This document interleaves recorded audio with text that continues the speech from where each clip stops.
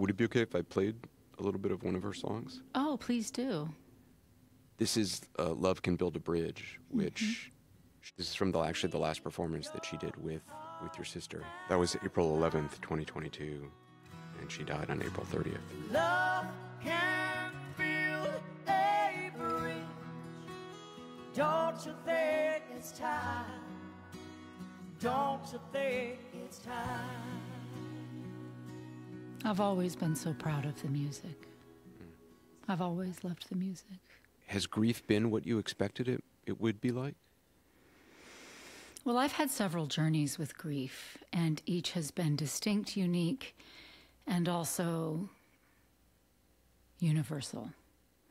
So, my grief journey started as a child because I played the role of the lost child in my family system growing up.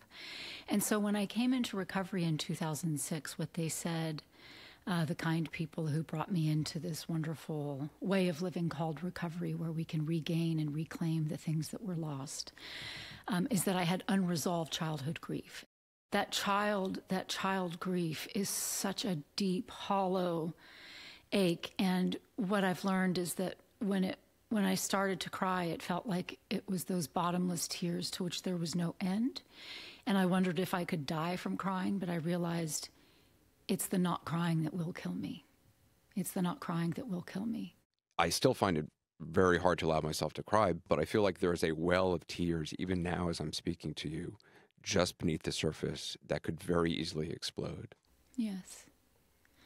I identify with that, you know, and it comes in these waves and it has so many different characteristics. That, you know, one of the things that I want to offer is that I have learned how to hold my own hand and my crying. And mm. there is a place where trauma and grief and transcendence meet, and I call it the braid. And I think the braid. That, yes, yeah, that they all go together, and there's this beautiful melding. But I believe I have a higher power who suffers with me. That's just fundamental to the God of my understanding. And so I, I tried to go to this place where where God was with me, and so all of that was touching this transcendence simultaneously. You have said, I was powerless over my childhood. The survival strategies I developed made my adult life unmanageable. That is completely what I've now realized that all the things that I developed to get through my childhood, all the, the strategies I developed of keeping things inside, doing everything myself, you know, never asking anybody for help or advice, it has made my adult life unmanageable. These are strategies which have gotten me this far, but they are keeping me stuck in this middle ground of not experiencing real grief, but also not experiencing real joy because I can't allow myself to experience any any strong emotion. And, I, and that line is borrowed from a piece of very wise recovery literature. And I have to acknowledge that those survival strategies were really brilliant. You know, they were creative and adaptive and resilient, and they got me through things um, that otherwise I perhaps wouldn't have made it through. And then as an adult, I'm so conditioned to rely on those strategies. But I can learn new ways and I can separate out the things for which as a child I was not responsible when I was vulnerable and needy and defenseless. I've heard from so many listeners who, ta- who have also unresolved grief or unprocessed grief. Do you still feel like that little girl is inside you? That that oh. little girl re- is the person who reacts in in a crisis situation first? Absolutely.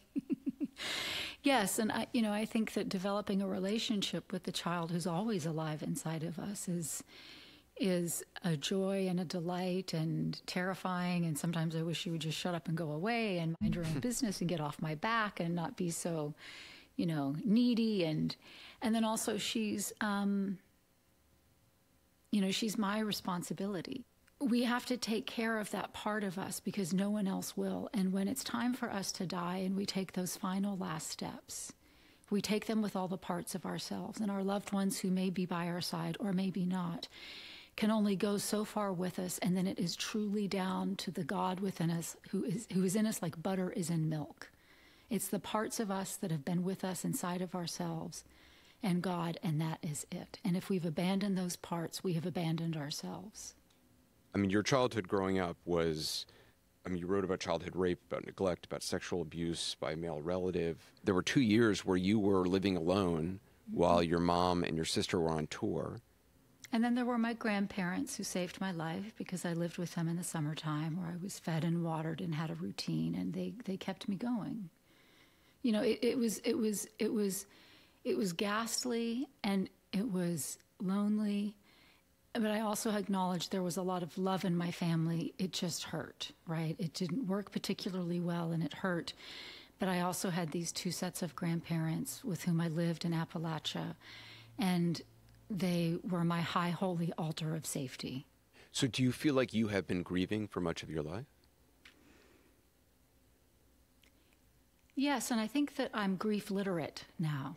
And grief and I are on pretty good terms. That doesn't mean I get a pass. You know, it doesn't mean that there's a shortcut, but there's a shorthand.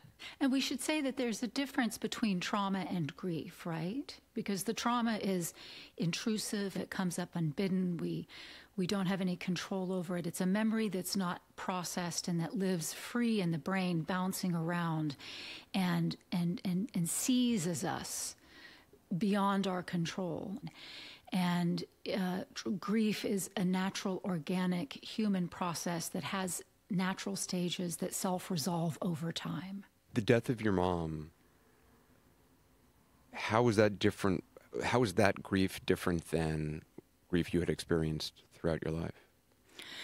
That's a really good question, Anderson, because I think that, you know, the death of a parent is something for which we, at least conceptually, have some kind of preparation.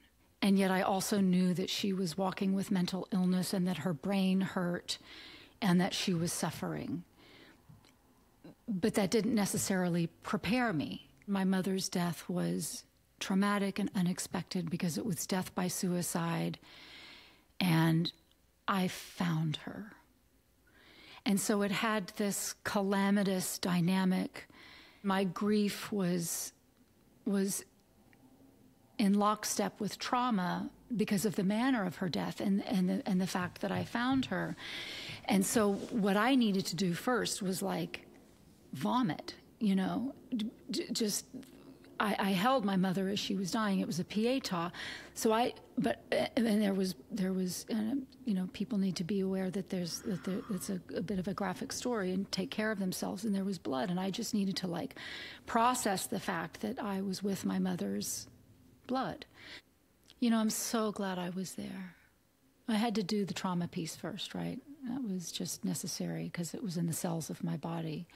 I'm so glad I was there because even when I walked in that room and I saw that she had harmed herself, the first thing out of my mouth was, Mama, I see how much you've been suffering. You said and that. And it is okay. It is okay to go. It's okay to go. I am here. It is okay to let go. I love you. Go see your daddy. Go see Papa Judd. Go be with your people. And she heard you? Oh, she heard me. And I just got in the bed with her and held her and talked to her and said, Let it all go. Be free. All was forgiven long ago. All was forgiven long ago. Leave it all here. Take nothing with you. Just be free. And I did that for, I don't know what it was, 14, 15 minutes. Just held her. It's an extraordinary blessing that you were able to do that. You know, she wrote this beautiful song in 1975 about how, and we just found the notebook in which she has it written down in her handwriting about how I picked her for my human life and she birthed me. And then it go, the song goes on to say, when I hold her ashes in my hand and I let them go, I'm to carry on because my spirit is bright inside of me.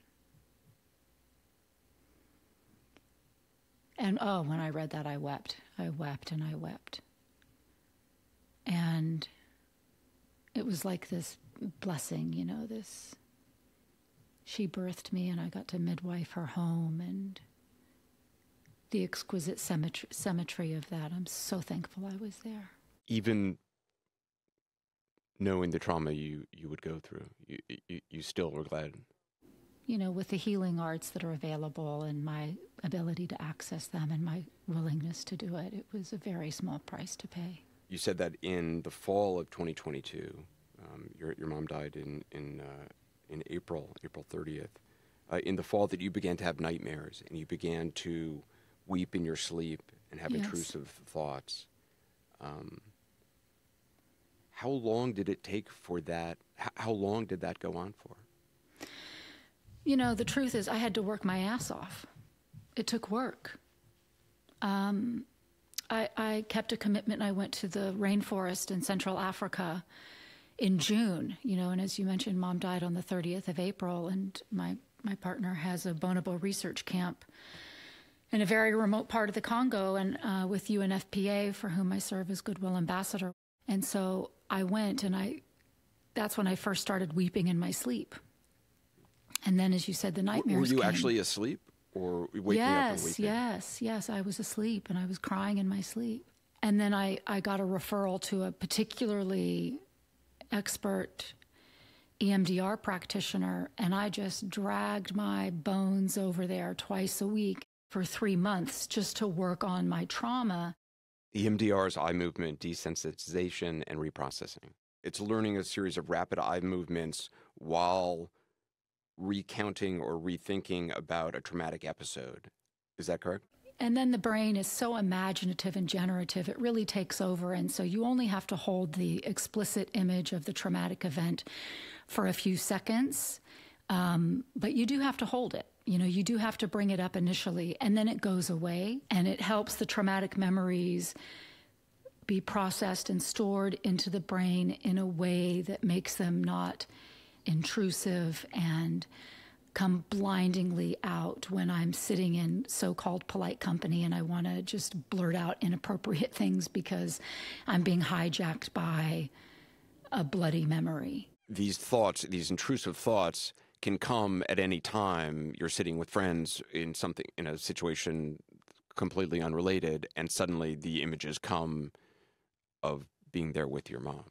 Yes, or the police arriving or being interrogated four times, or the fact that there was all this uh, body camera footage, or, you know, all the things that were apart and were very alive inside of me until I completed this very rigorous and intensive series of EMDR. Uh, and then the grief came up, and it was like such a relief just to grieve, you know. And I actually had a re experience of the shock, which is the first stage of grief, a year after my mama died. I would just be doing something, washing the dishes, you know, writing on my second book, and, and this wave of shock would overcome me as if I had just walked in the room again. You told, I think, the New York Times that after doing that, that you learned to kind of store your memories in a safe place, almost like they were located behind cellophane of a scrapbook page. Is that right? Yeah, I mean, that's one of the ways I experience the difference between grief and trauma. You know, trauma is in the room bouncing around and jumping out at me behind a sofa, whereas grief is in a scrapbook, like an old fashioned scrapbook, in a photograph, behind a page of cellophane, stored on a bookshelf. You know, I'm in a pretty joyful place about my mom's death, which also needs to be shared and uplifted because, you know, she, my mom was this intensely curious person and she was so interested in neuroscience and neurocognition and the universe and the cosmos and you know she was buddies with with Lisa Randall who's this astrophysicist here at Harvard she knew Marvin Minsky who was the original person who was exploring artificial intelligence and these were just her friends and people wouldn't associate Naomi Judd with these Nobel laureates per se but my mom is now in the vastness of, con- of consciousness in the mind of God. What a great place for her to be. I'm, I'm, I'm thrilled for her. You know, all of these mysteries, which just made her daydream, are now where her spirit resides. And so I'm having these conversations with her about how she's just with the mystery. So you have conversations with your mom. Yeah, a little sly wink, wink, you know, a little writing back and forth. It's one of the things that I've learned in talking to people that's really been helpful to me is this idea that you can still have a relationship with somebody who has died. And in fact, Yes. that relationship can grow and change and morph. As, as I age, I come to understand my father in a way I didn't before. As I have children of my own, I suddenly see my father and my mother in a different light because I I understand more about their parenting and, and how they saw what they saw in me. Do you find your relationship with your mom changes? I am finding that. And I, I really encourage people to honor these small impulses. If, if a thought crosses the mind, pay attention to it. Consider it a nudge, perhaps from your loved one. You know, when I go to Walgreens, which is why, where I buy all my greeting cards, I will stop and look at the cards from mothers to daughters. And I will pick out the one that I think mom would have chosen for me. You know, I did that at Christmas. I do that on my birthday. And I pick out the one that I would have gotten for her for the holidays. I'll go to Walgreens and pick out the one for her birthday, which is on January 11th. And then I got I went I went on this kick recently where I wanted to talk to people who knew her. You know, her her last one of her last treating psychiatrists and then a boyfriend she had in 1975 who was a Vietnam vet who became a peace activist and lived in the woods without in Appalachia without running water or heat. And I just said, I got to talk to this guy. He knew my mom in a way that I never will. You know, when I was being paid 10 cents to massage her feet when she got home from nursing school. And Dudon, who played the guitar for the Judds and created all those signature licks and songs like Why Not Me, he was on the road with my mother and sister. And I want to talk to Dudon, and I did. Because you you- wanted you wanted to see your mom through different eyes? I just wanted to hear stories, dimensionality, personality, what was on her mind, what she was like, what they talked about, if she talked about me. One of the things that um I'm here, Anderson. one of the things I uh, have found so hard about one of the things I found so hard about losing my brother to suicide was I get stuck in how his life ended. And also the realization that, and my shock over it, and the realization that I didn't really know him. And I'm wondering if the manner of your mom's death made you question how much you knew her. Thank you so much for sharing that. All our stories are sacred. And I really honor the place in you that that's coming from. And I think we all deserve to be remembered for how we lived. And how we died is simply part of a bigger story. It is your mom's birthday coming up, January 11th, as, as you said. I know on, on the first birthday that you had without her, you actually threw a party I I threw a wonderful party. for like 60 people. 60 people who knew and loved and adored Diana Ellen Judd, Naomi. Yes. Yeah, it was wonderful. I Was that, I, I that must have been hard, I guess no? it's just the nudge. You know, I just I don't know where the idea came from. It just bubbled up and the next thing I knew there were 60 people at the house, you know, the amazing woman uh, Miss Doris who sewed mom's costumes and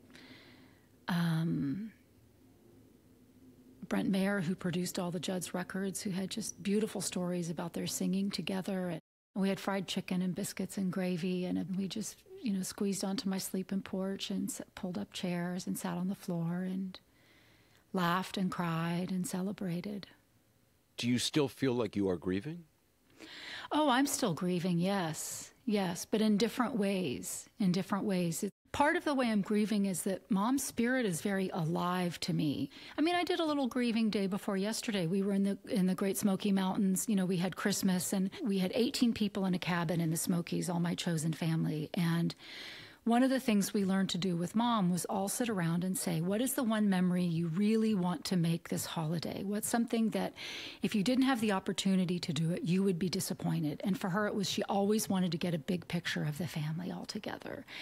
And so we do that. That's a tradition that is still carried on as inspired by her. I, am grieving in that way, you know, by keeping her spirit and her traditions and her customs alive. I spoke to President Biden about a few months ago, and and there's a photograph um, of his son when he was a little boy, and he's turning to the camera and kind of waving, and mm. that's the that's the image that the president has in his mind's eye of his son. Not the image of his son at the end of his life, not at the beginning of his life, and in that moment. I'm wondering, is there a an image you carry of your mom in your head? Mm. Well, now you've got me. My turn to weep. So, Mom and I and Pop and I are neighbors in rural Tennessee. And we're stoppers by. So just stop by, stop by, stop hmm. by. And, you know, Mom would stop by and she would always have these plastic bags. And at first, years ago when this started, I would be a little aggravated because I recycle. And then I realized, you know, I would see, like, why is she bringing these unnecessary plastic items into my house? And then I thought, you know what? She's letting me know that she's thinking about me on aisle four, that I'm always on her mind. That's what this is about, you know?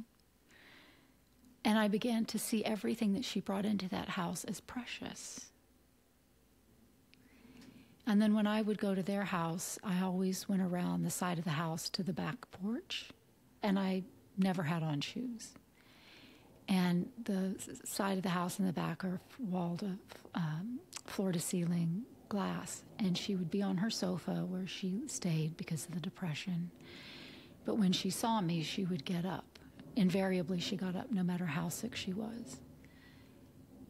And she would light up and she would come to the back door and open it, and she would exclaim, There's my darling, there's my girl, there's my baby. And that's how I see my mom. I read that she used to call you Sweet Pea. Is that right? She did call me Sweet Pea. And I still sign my cards to Pop Sweet Pea. I am not letting go of that one. I'm keeping that one for life my mom left little notes among her things because she knew I'd be the one going through them all. And um, have you gone through your mom's stuff? I've gone through some of it, and I have. I'm blessed to have an attic, so I have a lot of things in the attic. I have her hairbrush, and I have that sitting out with some of her hair in it, and I have all her pajamas folded in my closet with my pajamas. Do you wear them? I haven't worn them yet, but I will. I will. I wear her pants. I have some of her fancy dresses and coats and things, which I look forward to wearing. And I have a lot of her things, and everything has folded Kleenex in the pockets. And I just leave those and I pull them out and I sort of wave them. And, you know, everybody knows that I'm wearing something of my mom's if I've got a folded Kleenex. She and was always the go-to person for a folded Kleenex. Yeah, and she often had a half a tuna salad sandwich in her bra. You know, she just that's how she rolled. In her bra. yeah, she was funny. she was funny. And um, was that for herself or to offer to others? Um, well, she always fed her children. She would always offer some for us. Um, and I've been through some of her daytimers you know, and looked down at what she wrote on our birthdays and the, that notebook with her songwriting is very precious. You know, her first ever songs and you know, she went on to receive many accolades and win Grammys for songwriting and these are just her initial forays in 74 and 75. Hmm. And they're beautiful. They're beautiful. Some of them are like psalms. There's one other song I just want to play. It's um, Guardian Angels. Yeah. About my great grandparents, my triple great grandparents.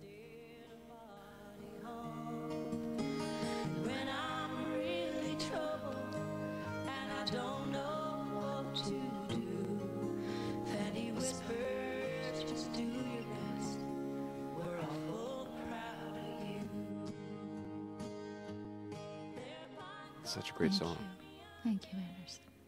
Love that. Hmm. Life, the pathos.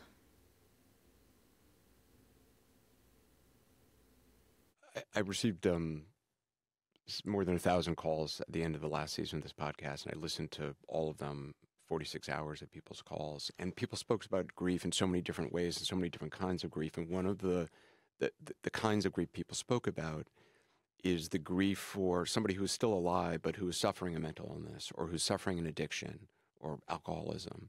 So there's a lot of people listening who who are in this situation right now. And I'm wondering what your what you would say to them about that grief of seeing a loved one suffer and yet how do you navigate that? I would say there's always help and hope for friends and families. And we have the right to lead our own lives with dignity and wellness and pleasure. And we're not betraying our loved ones by pursuing a good life for ourselves when they are sick and suffering. You know, my mother took so much pleasure in the goodness of my life, and she was so tremendously proud of me. And my social activism, my advocacy, my voice, it, it gave her so much delight. I am responsible for my own life. And if that means I'm responsible for my own life, it also means that other adults are responsible for their own lives. And I can walk beside them, but I can't get inside their skin and live it and do it for them. And I can have compassion and say, I see you, I hear you. Is there something I can do to support you right now? But to understand that that support should not go so far as enabling them to love them, but not do for them what they can and should do for themselves. And it's very fine work. It's like being a fine mechanic on a Swiss watch. you know, how to sit with my mom and know that she really wants a pill that's going to fix it when I think that she needs to go to detox, right? Which at certain times she did.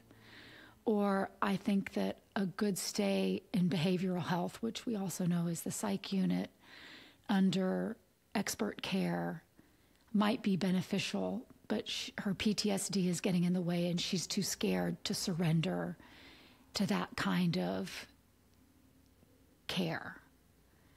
And I have to respect her autonomy, even though I have medical power of attorney and could sign her in. You know, but then how do I handle my disappointment, my anxiety, my sense of loss? Those things are my responsibility. You know, this distinction between enabling when I'm really doing for someone what they can and should do for themselves and giving encouragement and understanding can be acquired. But we have to look for our teachers you know, and those can be found in 12 step programs. It can be found in a good therapist. It can be found in a lot of recovery literature. Do you feel like the grief that you feel over your mom that that will be with you always? I mean, is it something that goes away? Is it something that just ebbs and flows? Is it something that just morphs with time and becomes something different, but is always there? I think it will be a journey of discovery. I think it will be a journey of discovery because there are many things I haven't done yet. I haven't looked at pictures. I've seen a few, but I haven't really looked thoroughly, intensively at pictures yet. Pictures of her in in recent years before her death. You know, she was in Austria with Pop before she died. She came back on Friday and she died on Saturday. And she was having a mixed experience in Austria. She was having a really good time, and also she texted me, My brain hurts. And so I haven't looked at the pictures from Austria. I haven't looked at, you know, the holiday pictures from the previous years. Yeah, I think it's going to be just a, the walk, the walk of my life. You know, as I as I reflected now, I'm in this kind of yummy place of just enjoying the mirth of knowing that she's with this vast consciousness and that she knows the mystery now. And that just delights me. One of the things I'm very grateful for in terms of my mom's death, who died at 95, was that there was really nothing left unsaid between us. I'm wondering, do you feel that with your mom? Because I mean, the the road you had have been on with her, I mean, it's it's an extraordinarily winding and, and torturous at times and beautiful at times road. You know, I hadn't really thought about that, Anderson, and I think that my mom and I were pretty complete. I mean, we talked about a lot of stuff. We really, we were emotionally quite intimate. The one ache that I had for my mom was that I know that toward the end, what ended up becoming the end of her life, she was feeling some guilt and shame about her parenting. Even though all was forgiven uh, very clearly on my part, you know, I made my amends to her, which is what really instigated the healing in, in our relationship. I did that in 2008 for the rage that I had carried as an adult, which really opened um, the floodgates to a very deep bonding between us. And she spontaneously made her amends to me as well. You know, but she shared this story about how one Easter Easter when we lived in Marin County, she couldn't afford a turkey and she bought a chicken and she told sister and me that it was a turkey, as if we knew the difference. I was in the third grade. And she was just she had so much shame about that. And I remember feeling like I wished I could have just lifted that shame out of her, but that has to be an inside job. Although I look back on it and I wish I'd maybe said a little more or done a little something like patted her leg or given her a hug or a kiss on the cheek and just expressed a little bit more of the compassion that I was feeling inside. So that feels like a little piece of unfinished business. And I did address that on her deathbed when I was saying, let it all go, let it, don't take anything with you. That's what I meant. It was that moment I was referring to, and any guilt or shame that she was feeling about her parenting. I read this quote earlier, and I just I didn't read the entire quote, but it gets to what you're saying, which was you had said, "I was powerless over my childhood. The survival strategies that I developed made my adult life unma- unmanageable. When I took responsibility for those survival strategies, my relationships with both my parents transformed and healed." 100%. Absolutely. That's what made the difference. That that made the difference. That was the catapult. It was and the when, catalyst when you, and the catapult. When you said you took responsibility for those survival strategies, what does that mean? Um, well, I did my anger work. And what that looks like is, you know, kicking and screaming and fighting and yelling and telling all the perpetrators to get off of me and all that kind of stuff. And writing and drawing and you know just getting it out because it lives in the very cells of our bodies moving it out experientially of my body. You know so i quit taking my anger out on my parents. You know it didn't come out sideways. And you know i changed. I be i became able to hold complexity and to have you know a tense conversation without blowing up or leaving the room or you know getting sideways so that was the, that was the change, sort of recognizing the little child, the stuff that was from the little child, and being able to work on that and figure out a way to amend those survival strategies. Yes, yes. That's and know what was the, the core pain. What was the core pain from childhood, and work on that separately, and what was showing up as an adult. Well, Ashley, thank you so much for. Oh. Is there oh. anything else you'd want to say? Oh, just thank you so much for being you and bless you on your journey and just keep trudging, keep trudging. And I appreciate the opportunity to be with you. And I'm so thankful that we're in this community of grievers together. It is the the strange thing about grief is that it feels so alone, and yet it is this experience which everybody has gone through or will go through, and yet it still feels so lonely. No one can do it for us. We do not have to do it alone.